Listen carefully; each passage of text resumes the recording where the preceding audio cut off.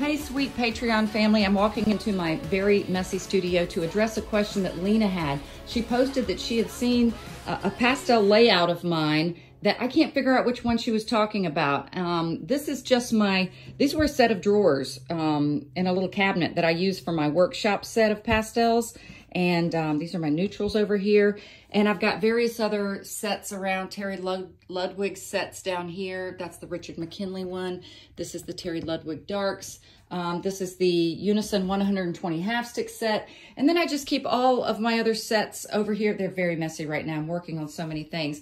But anyway, Lena, I can't figure out what video you might have seen. So maybe you can leave a comment and um, just let me know um, a little more description about it. So I'm trying to help. All right, guys. Bye.